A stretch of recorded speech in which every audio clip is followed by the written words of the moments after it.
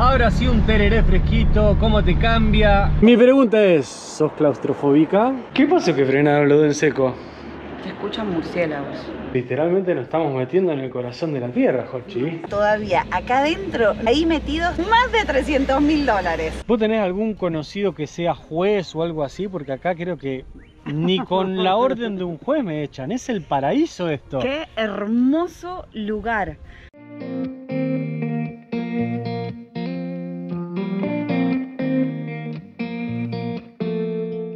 Bienvenidos a un nuevo y caluroso video. En este momento nos encontramos en Ciudad de Comayagua, en Honduras. Ya más tranquilos y más relajados y descansados sobre todo que el capítulo anterior. Fue un poco caótico y ahí Honduras nos puso a prueba. La paciencia, absolutamente. Ya estamos listos para seguir descubriendo este gran y bello país.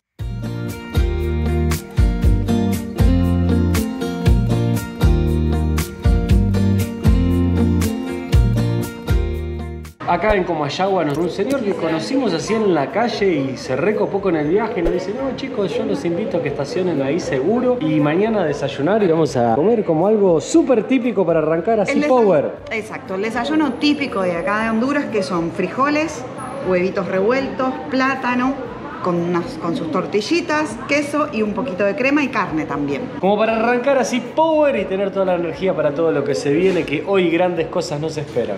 Ya estamos empezando a intentar dejar atrás la ciudad de Comayagua. Realmente este es el calor que yo tenía recuerdo de esta ciudad. Mamá, no dejo de sudar. Sí, se pone súper intensa la temperatura a esta hora. Es como que si, si no estás en la sombra al sol, se pone tremendo. Pero mal que recorrimos anoche, tranquilito, súper fresquito, las cosas siempre pasan por algo. Eso es lo bueno también, que a la tarde refresca súper lindo. Sí, la noche estuvo fresca, estuvo por Eso, por eso también la gente es como que de día no, no sale tanto, pero sí a la noche, cuando ya baja el sol, empezás a ver a la gente que sale a caminar o que se sienta así como en la puerta de la casa, que se junta gente en la plaza, disfrutando ese fresquito que trae la nochecita. Vamos a ver si encuentro una estación de servicio para comprar un hielo, porque cuando hace calor, creciendo en el camino, toma tereré.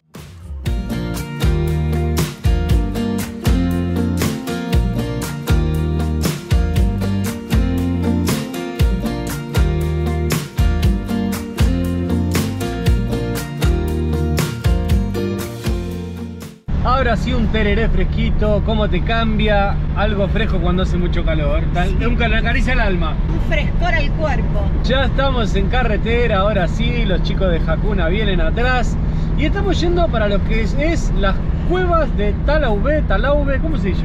Talaubé. Talaubé. Creo.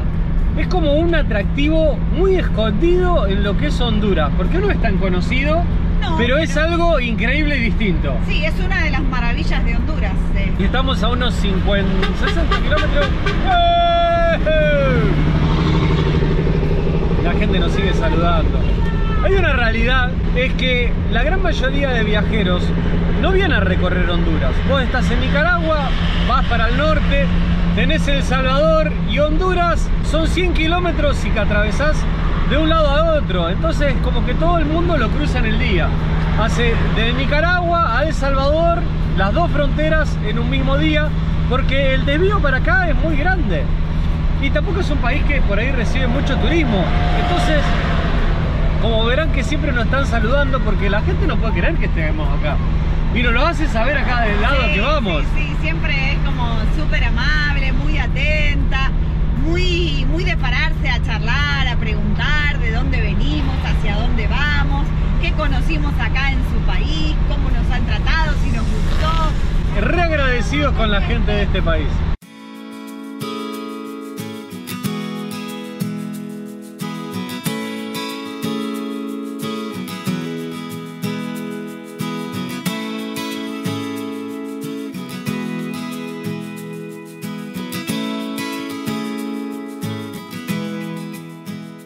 Pasamos en teoría lo que es el último peaje del día. Pagamos 90 lempiras por tener doble rodado, que ayer se ve que habíamos zafado, porque ayer nos, paga- nos, co- nos cobraron como liviano. No, 22. De 22 a 90 hay bastante diferencia. Y son cuatro veces más. Claro. Ya estamos casi llegando, estamos a unos 20 kilómetros. Nos habíamos desacostumbrado un poco al peaje, porque Guatemala no tiene, Salvador no tiene, y Honduras es como que esta carretera que cruza del el país de un lado a lado es que tiene peajes. Mientras se construía esta carretera, fue que se descubrió el lugar a que vamos a ir a visitar ahora. Ah, eso es tener el dato así posta. ¿Viste? Y ahí ir conectando información.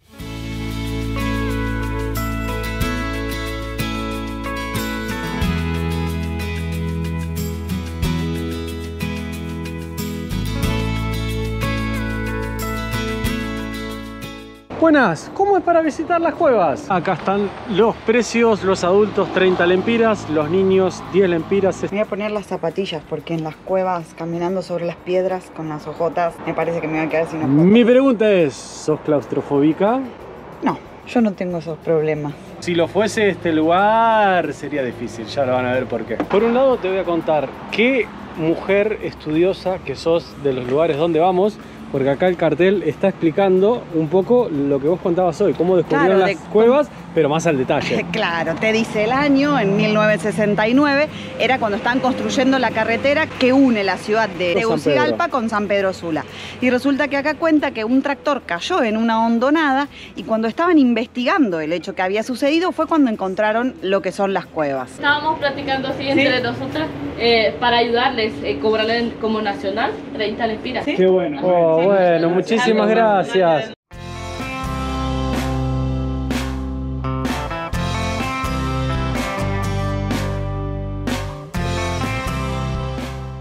Mira este cartel, lo vimos allá en el, en el Cristo también, de la capital de Tegucigalpa. Esta es otra de las 30 maravillas de Honduras.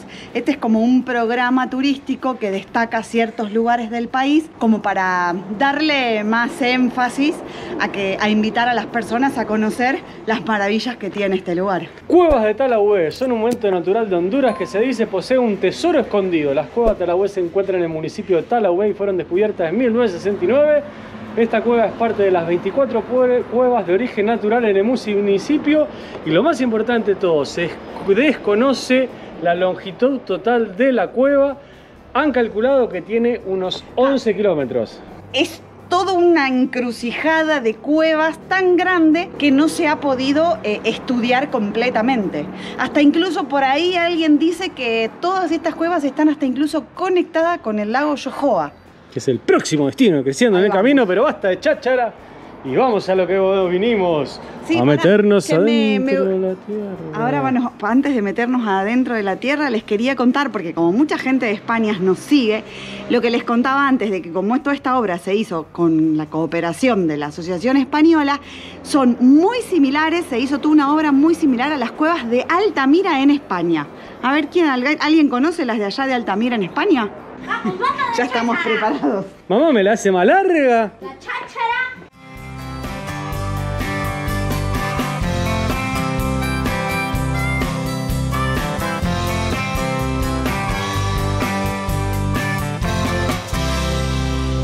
¿Qué pasó que frenaron los en seco? Se escuchan murciélagos. Es que más, acá al lado hay una cueva que se llama la Cueva de los Murciélagos. Bueno, pero está al lado. Y ¿Lo sí, escuchás? Lo que sí está más fresquito Una vez, acá. para, sí está fresquito, pero no importa. Una vez escuché una historia de que a una persona se le había enredado un murciélago en el pelo. Y desde esa vez, eso me dio mucha impresión y me da mucho miedo que me suceda. Lo bueno que yo no tengo ese problema. y los niños sí, que tienen mucho pelo y mucho quiriquincho. Vamos, dale, nano, vení. se fue corriendo. Y se marchó y a su casa la llamó. Dale, vamos, vení, yo te protejo.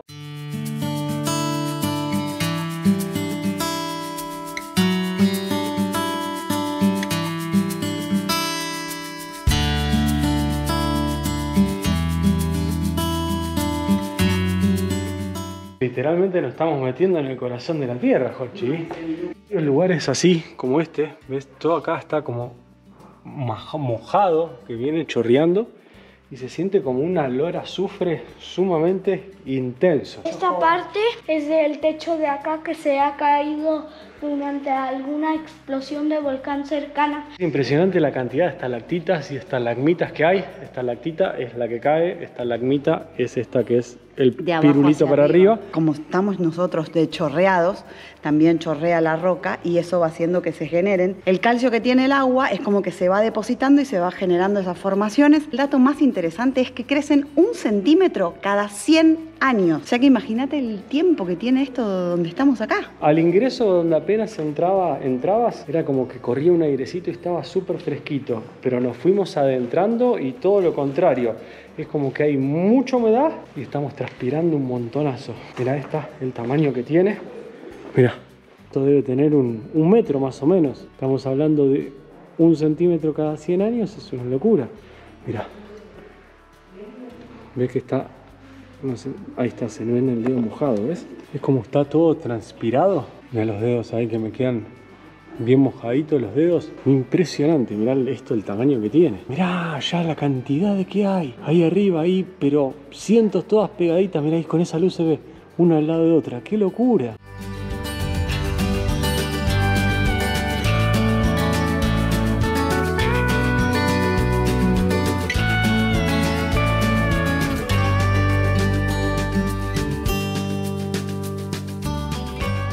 Mirá lo que es, la estalactita esta de ahí hasta la punta ahí, mirá, de ahí es una locura el Esta tamaño que tiene. Se llama las alas del ángel. Se asemejan a ciertas imágenes, entonces les fueron dándose nombre. Y esta en particular es como una de las más famosas, más conocidas, y son las alas del ángel. Es como que una ala está como cerrada, caída, y la otra así como medio abierta. Y en realidad está formada por todas las estalactitas.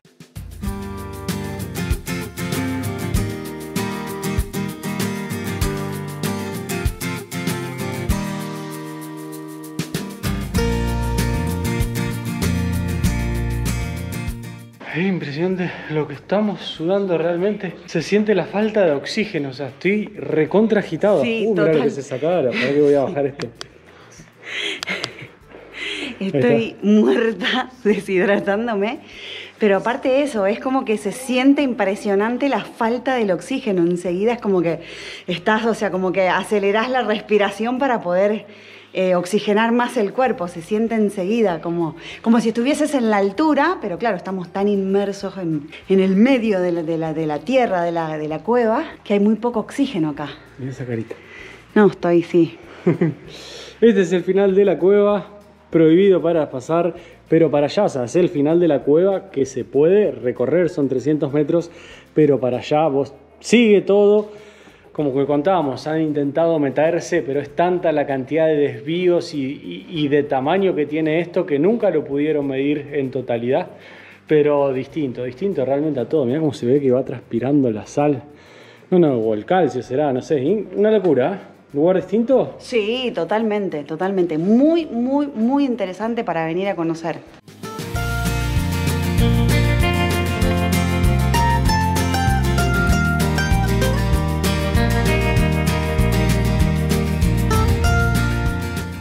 Recién les contábamos el tema de la falta de oxígeno que se siente y además venimos los tres a los bostezos y tú me decías, mamá, tengo mucho sueño. Entonces le explicábamos, o sea, hacíamos escuela de la vida y le contábamos cómo el cuerpo siente ese estado de adormecimiento ante la falta de oxígeno, porque digamos, la- cuando dormimos es el estado en el que el cuerpo gasta menor cantidad de energía. Entonces, al tener tan poco oxígeno disponible, el cuerpo trata de pasar a ese estado basal, como que se pone en, ¿viste cuando le pones al celular el modo ahorro de, ahorro de energía? Bueno, el cuerpo hace exactamente lo mismo ante la falta de algo tan esencial como es el oxígeno. ¿Te agarró mucho sueño? Hay que tener la prueba que sí. Mirá cómo se ve perfecta la gotita. Claro, cómo va escurriendo. Y después como que el calcio se va depositando de- que trae el agua, porque es agua con minerales, es agua que pasó por la tierra, se va el calcio depositando y va formando las, todas las estalactitas, las formaciones estas. Acá al costadito hay como otro ingreso que adentro supuestamente está lleno de murciélagos y nos han dejado solo. Vamos a ver si hay o no hay. No sé si se alcanzará a grabar el sonido, pero se escuchan perfecto, perfecto el ruidito. Y aparte es muy loco como se viene volando, se agarra la piedrita con una sola patita y queda ahí colgando de una y al tiro como se descuelga. O sea, no es que le cuesta mucho hacerlo. Escuchá. ¿Ustedes animarían a entrar a la cueva llena de murciélagos o, o como la se quedan allá en la puerta?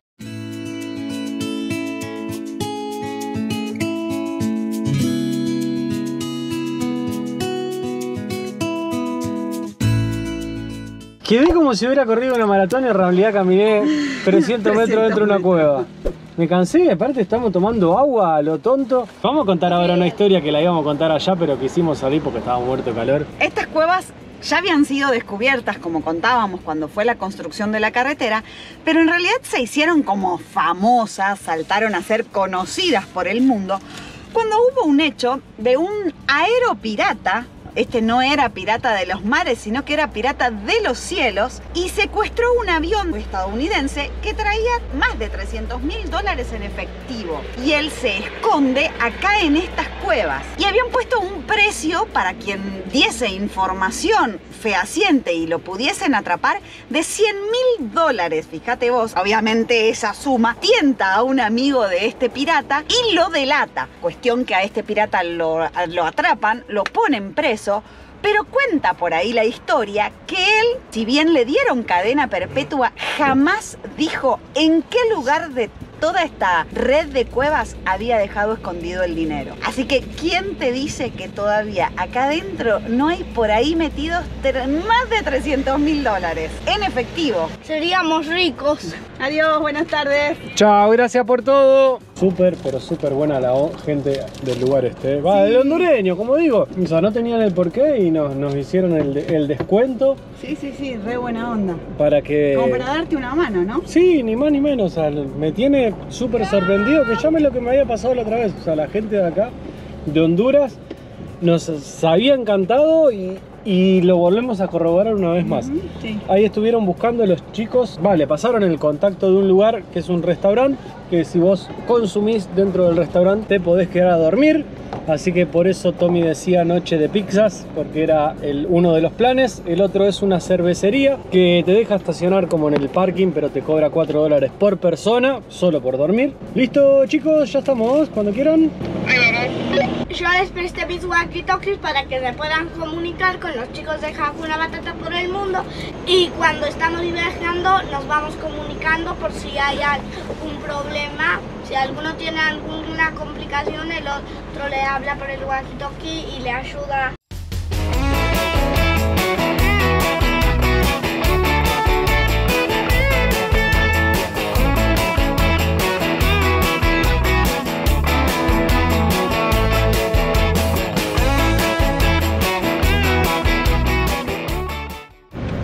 Acá en teoría está el desvío. Cabañas, agua azul. Cabañas Agua Azul se llama. Sí, Hermoso el camino, ¿no? sí, súper lindo. Aparte de, a poquito se iba viendo el laguito ahí, una belleza. Sí. Estos lugares así de, de calor siempre decimos, si vos estás la- a orilla del lago, de un mar, donde corre brisita, se pasa súper espectacular, pero cuando estás encerrado, Sí, ahí se sufre más. Por eso está genial, me re gusta. Y además también otra cosa, que el hecho de estar en un lugar así tan verde, lleno de vegetación, eso también hace que el aire sea más fresco, la vegetación. vamos a ver a dónde nos conduce el camino de hoy. Qué lindo esto de ir descubriendo y la incertidumbre de no saber dónde corno que vamos a pasar la noche. Voy a ver qué onda para no tener que andar maniobrando acá en estos lugares chiquitos. ¿Qué te dijeron? Nos atendieron los chicos que están acá en el restaurante, hablaron con, la dueña del lugar y nos dijo que sí, que no hay problema. Y ahí nos indicaron que vamos, o sea, vamos a bajar por un caminito y vamos a llegar a un lugar donde hay unas lanchas y como que ahí debajo de unos árboles podemos estacionar. Está súper lindo el lugar, precioso. Vamos a cenar acá, vamos a comer unas pizzas. Está encima las pizzas son al horno de leña, ya se siente un olorcito espectacular. Así que cenamos acá y podemos estacionar y pasar la noche acá sin problema.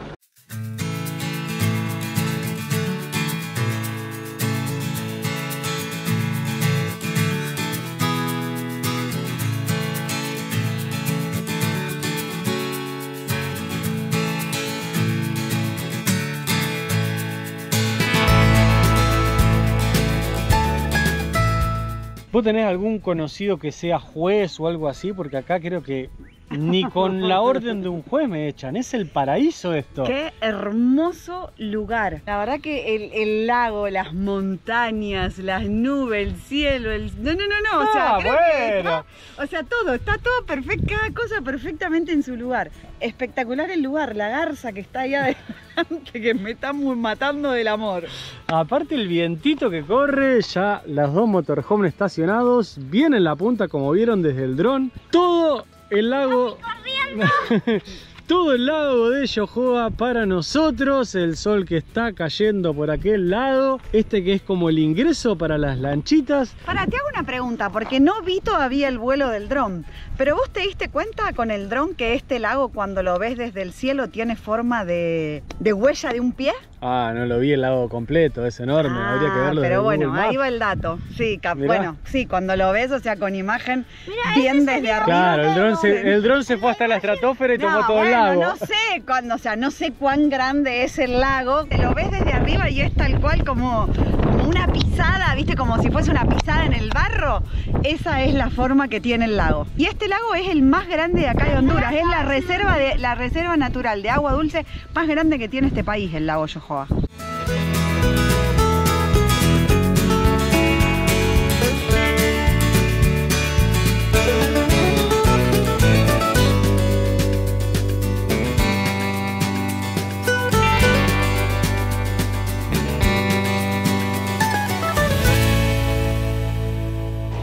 Se viene para comer, Jorcita? Se vienen taquitos de pollo, tranquilo, digamos, para no generar más calor adentro de la camioneta, pero rico a la vez porque le agregás salsitas, le agregás mozzarella, le agregás tipo frijoles refritos que se llaman acá, que es como esa pastita de frijol un poquito de cada cosa y ahí nos comemos unos buenos tacos. El otro día los hicimos, a los chicos los encantaron, así que vamos a repetir receta. Vamos a ver si armamos allá la sombrita para comer. Ah, mirá toda la gente pescando. Yo veía saltar un montón de cosas. A tirar una canita después, ¿eh? Sacamos un pescadito. Ya está lista la mezclita de pollo. Voy ahora calentando tortillas y uso también mi tortillero. Pongo las tortillas calentitas acá adentro para llevarlas así a la mesa. Así que ya voy a avisarle a los chicos que ya casi está lista la comida. En dos minutos ya largamos. Así que van a tener que ir poniendo la mesa.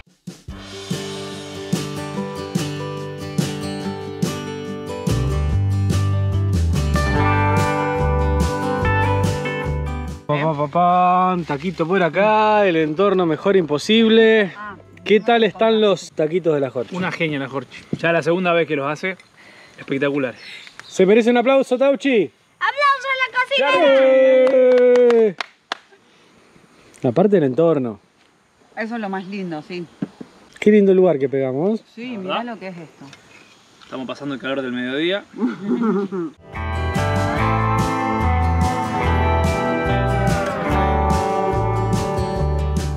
Los chicos trabajan, atardecer épico que estamos teniendo. Ya está preparada toda la carpita para darnos una ducha y sacarnos la cantidad de transpiración que nos hemos pegado hoy en la cueva. Mirá que lo que es la vista del atardecer se está nublando, parece que va a llover tal vez un ratito. Y acá estoy viendo que hoy estaba nublado allá, hay toda una cordillera de montañas ahí.